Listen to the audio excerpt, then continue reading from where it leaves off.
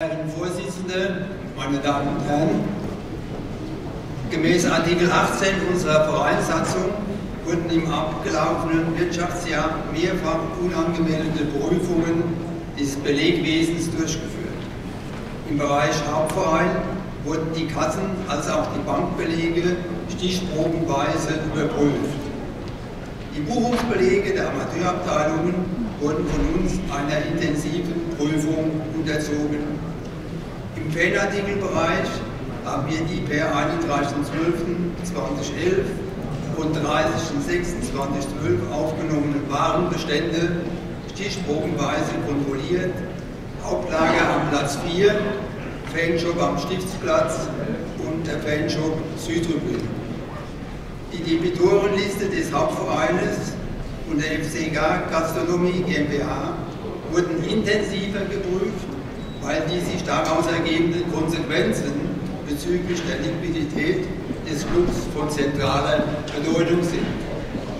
Das Gremium nimmt die Prüfungen und die Untersuchungen einzelner Bereiche nach dem Produktivitätsprinzip vor und legt fest, dass die Prüfungsergebnisse je nach Sachverhalt nicht nur rechnerische, sondern auch wirtschaftliche, rechtliche und bilanzielle Aspekte berücksichtigen. Die getroffenen Festlegungen wurden mit dem Leiter Controlling und Bendling erörtert.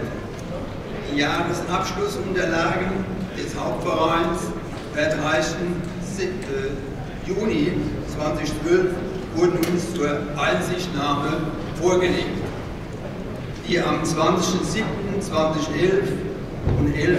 Januar 2012 durchgeführten unangemeldeten Kassenprüfungen in der Geschäftsstelle führten zu keinen Beanstandungen.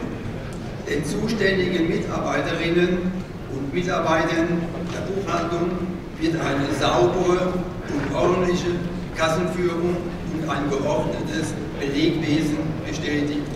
Beschlossen in der Sitzung am 14. November, gezeichnet Klinkowski, Gultes, Kuppi.